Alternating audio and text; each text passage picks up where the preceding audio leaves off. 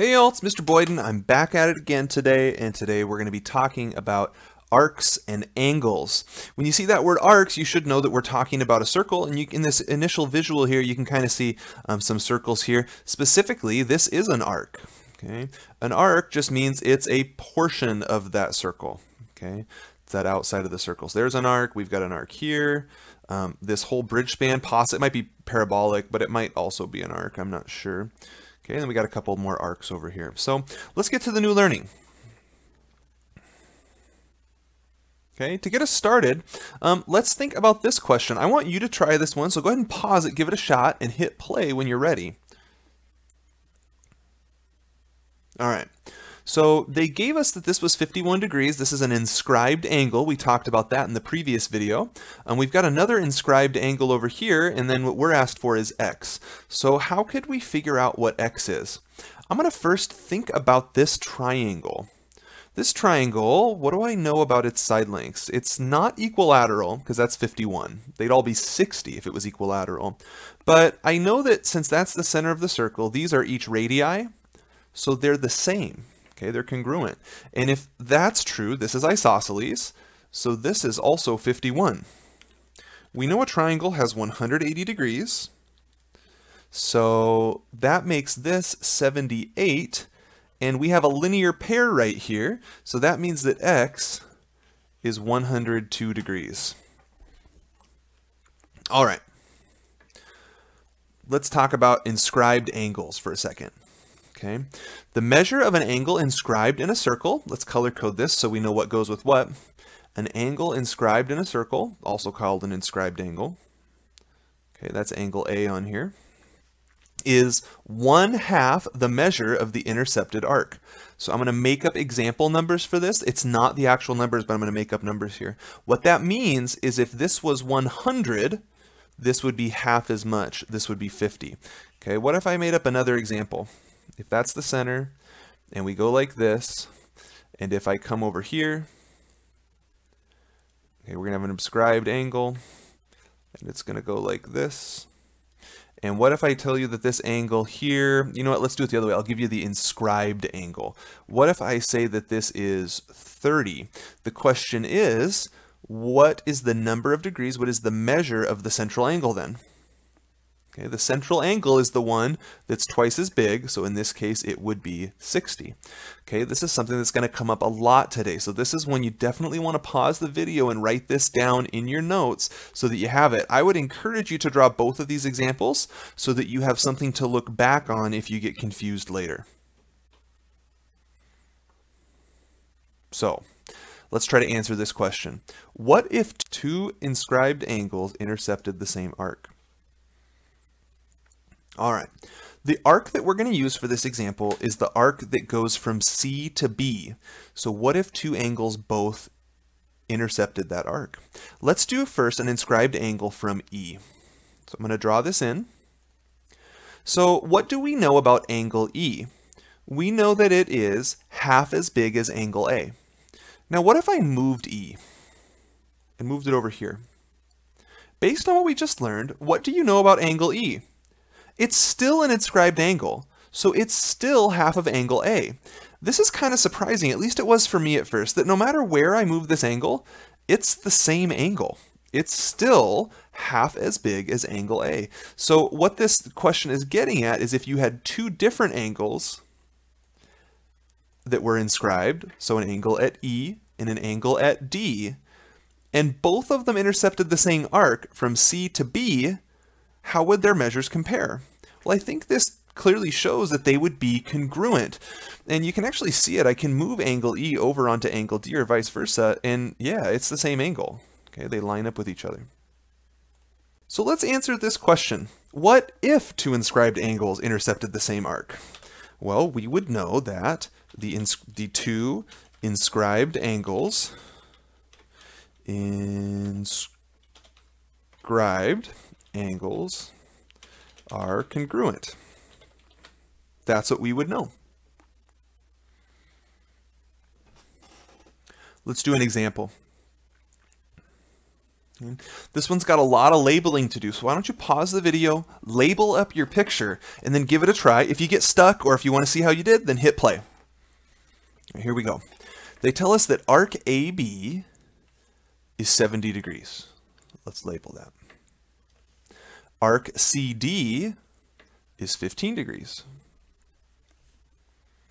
Arc DE is 65 degrees. Measure of ABF is 62. ABF is 62. And then we are asked for arc BC. Okay, so that's this one up here. Angle BAC. So I'm going to make a note. We're being asked for this angle. Well, if we knew this arc, that would be easy. It's an inscribed angle going to the arc. So we need to know what BC is first. And then we also are asked for what EF is. I think the easiest one to start with maybe is EF. Okay, EF, um, we notice right here, these two segments are parallel. These are parallel chords. And what that means is that the section or the arc of the circle that's intersected by them on each side has to be congruent. So if this is 15, this over here is also 15. Okay, so that's probably the easiest one. EF is 15 degrees. All right, what else? So we need to find this angle here. We also need to find BC. Um, I'm wondering if you know how many degrees are in the arc given by AF. And there it is. You might want to think about that for just a second. Notice the inscribed angle that intersects that arc. That's 62 right here. If this is 62, maybe it's easier if I easier to see if I draw in the central angle, or maybe it's more confusing. If it's more confusing, don't draw it on your page. But what we learned a minute ago is that the central angle would be twice as big as the inscribed angle. So if we double 62, we get 124, which means that's 124. And I'm going to get rid of these extra segments because I'm not sure we need them anymore. Okay, now how am I going to find this missing arc over here? Well, Notice this question is about a circle, and right now every arc except for this one, arc BC, that's the only one that isn't labeled.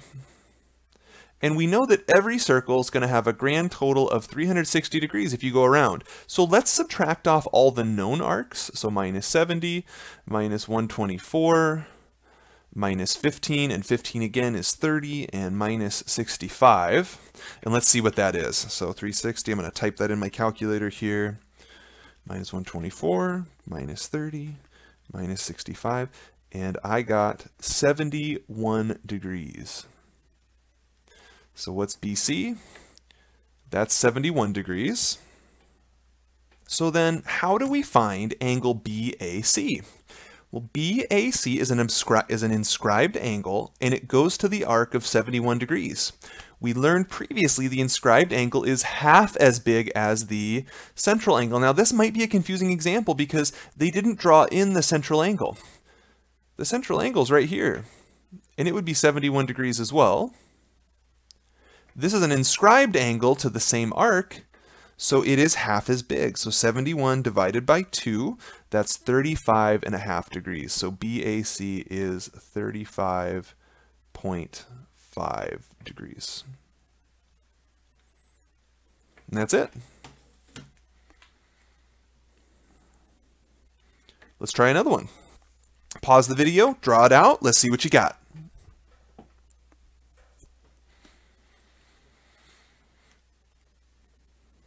All right, what do I know? I know that OA is a radius. I know that OB is a radius, which makes this an isosceles triangle. That means this angle is 43. We know that every triangle has an interior angle sum of 180 degrees, so we're going to go 180 minus 43 minus 43 and I get 94 degrees when I do that. So is that x? No, it's not. That's the central angle, and it's also this arc right here. So that's 94 degrees. Oops, that looks like 99. That's not right. 94 degrees. 94.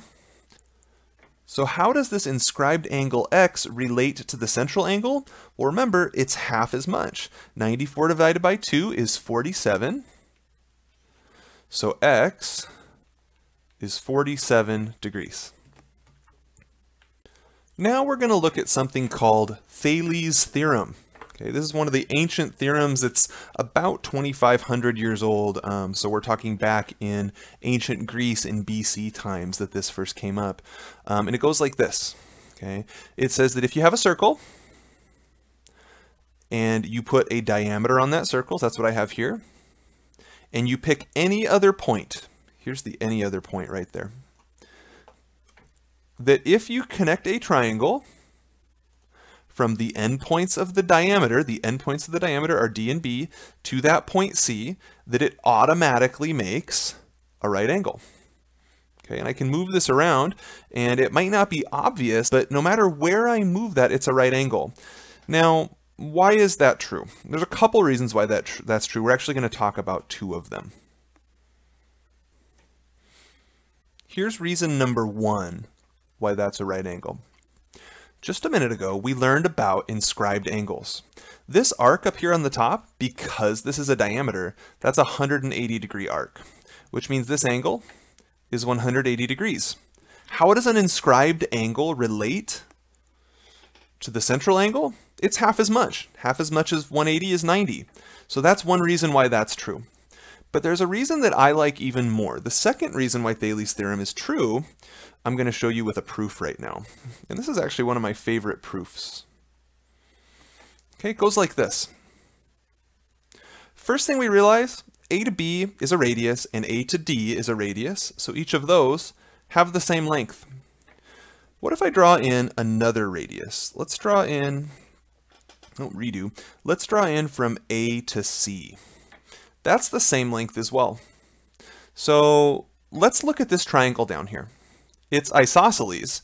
I don't know how many degrees are in this angle, but I know it's the same as that angle. Let's look at this triangle on the right. It's also isosceles. Now, it's not the same isosceles triangle. It's um, acute as opposed to the one on the left that looks like an obtuse triangle. So I don't know what this angle is, but whatever it is, I know that that's the same. Now, look at the whole big triangle. And remember that in any triangle, the interior angles add up to 180 degrees. So let's write out an equation that says that. So stuff is going to add up to 180 degrees. Well, what are the interior angles? The first interior angle is right here. That's x. What's the next interior angle? That's over here. That's y. So x and y get added together. What's this angle down here? That's the third angle. How would you write that? It's x and it's y. So that is x plus y. Okay, so there's an equation that represents that fact we know that the interior angles will add up to 180 degrees. Let's do some algebra now. Okay, so collect like terms. I have x right here and x right there. That's a total of 2x. And I have y and y added together. That's 2y equals 180. Notice that both sides of this equation, every number is divisible by 2. So let's simplify that out. We get x plus y equals 90. Well, there it is. There's x plus y right there. That makes this a 90 degree angle. That's exactly what Thales' theorem says. It says if you have a diameter and you have an inscribed angle that goes to it, that's a 90 degree angle. Okay, so that's two reasons why that's true now. Pretty cool, huh? All right, here's our last new vocab term of the day, and that is a cyclic quadrilateral. I have a picture of one down here. Maybe you can already guess what a cyclic quadrilateral is. It is a quadrilateral formed by connecting four points on a circle.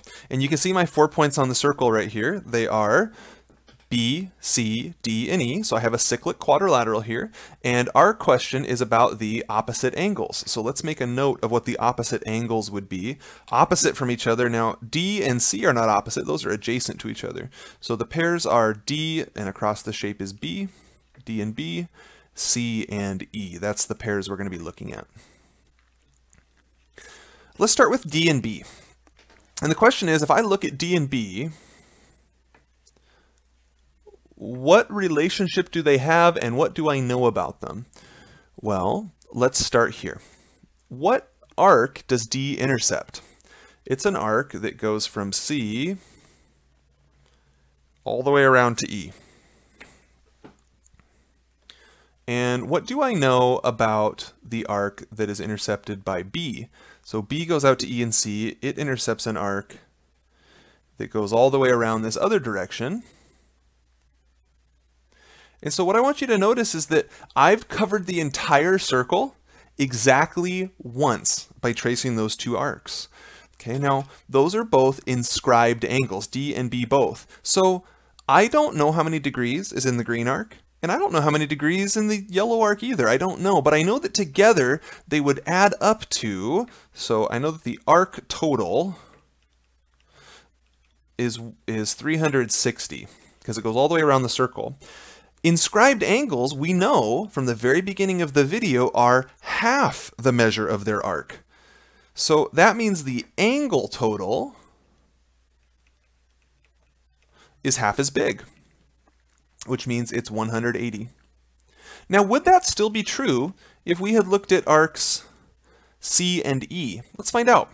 So if we look, or excuse me, angle C and E. So angle C has an arc that goes around to B like that. And if I look only at angle E, it intercepts an arc that goes from B to D, so that also goes all the way around the circle. So that's true, okay? So that leads to a fact, and we kind of, this is one thing I like about this topic is we started out with one theorem, and from it so many other things can be understood, and this is one of them. Okay, so what is the fact? Opposite angles in a cyclic quadrilateral are what would be the word we would use to finish that off, everybody? How about, since they add up to 180, we say they are supplementary. Now, if you want to write down that they add up to 180 in your notes because you don't remember that word supplementary, that's fine, although we want to work toward um, comfortably using that word, but that's the fact. Now, let's take our learning from today and do some examples so we can see how it's used and we can try to solidify our understanding. Here's the first one. Write it down, give it a shot, pause the video, and then when you're ready for some feedback or help, hit play. This one's a pretty quick one. It's based on the very first thing we learned today. A is an inscribed angle, and we know the number of degrees in the central angle, and so A has to be half that amount, so it's 65 degrees. That's it. Next, give this one a try. Pause the video, let's see how you do. All right, this one's going to take a little bit more thinking, I think. So what do I know? I think I want to start here. Do I know how many degrees are in that arc? I do. Now you might be tempted to say it's 20, but that's not right because 20 is not the central angle. 20 is referring to this inscribed angle down here. And that means that this is 40 degrees in that arc. Now I'm not answering E as that, I'm saying that this is 40 right here. Okay, so I know that I have 40, I know that I have 96. What else can we say now? Well, I have a diameter right here. See this point right here? That's signifying that's the center of the circle. And since this line is going through it, that's the center of the circle. And what that tells me is that this half of the circle, because it's half, has 180 degrees. So if I did 180 minus 96, I would get that other arc and that's 84. So I can say that this arc is 84. Now, if I know 84, I actually can find E right now. It's an inscribed angle across from 84, which means that it's half as much as 84. So that's 42. Let's label that here, and let's label that here. So E is 42 degrees. And then how would I find D? Well, there's a couple ways. Um, I might look and say, since we had the right half of the circle, this is the left half of the circle. Half a circle or a semicircle is going to be 180 degrees. And since we already have 40 right here, I'll do 180 minus 40 and I get 140 degrees. And that's what D is going to be. And that's it. Let's do another one. Pause the video, hit play when you're ready to get some feedback.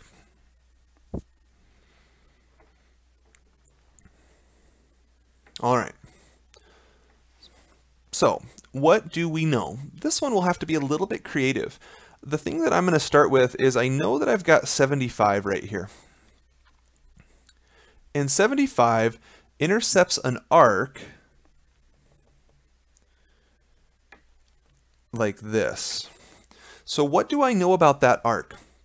It has to be twice as big as the inscribed angle. So 75 times 2 is 150. So I know that this is 150. That's going to help me to find what g is.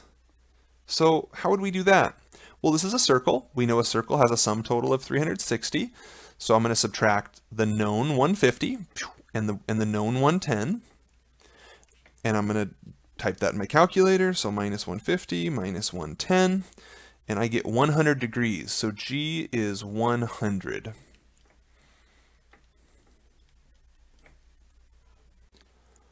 Now we need to try to go find F. So what do I know about angle F? I'm going to get rid of some of these markings on the page that might start to be more confusing than helpful. I'm going to leave on the ones that might be helpful. So what do I know about F? Angle F goes over to an arc of 110 plus I don't know how much this part down here is, so I'm not sure if that's necessarily going to be helpful. Now what might be helpful is if I knew more angles inside this quadrilateral, because I know that a quadrilateral is going to have an angle sum of 360. We have 75 and 90. If I knew what this angle was, it would be easy to find f.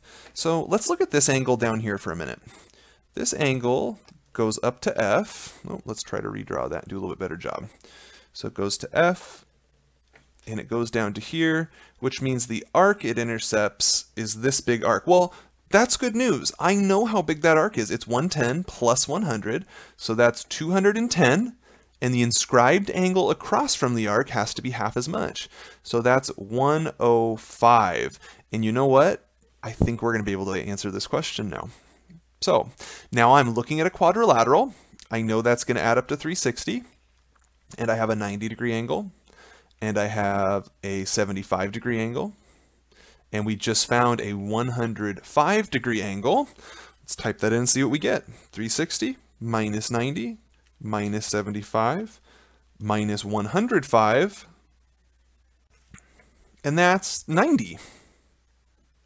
Now, it might not look like it's not, although actually it kind of does look like it's 90. So 90 degrees there, 90 degrees there. And so that's it. We did it.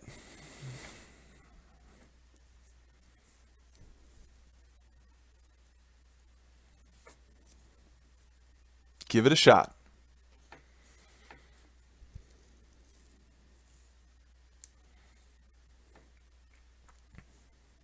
All right, what do we know?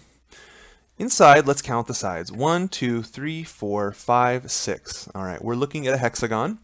We know that every side of the hexagon is equal, so it's a regular hexagon.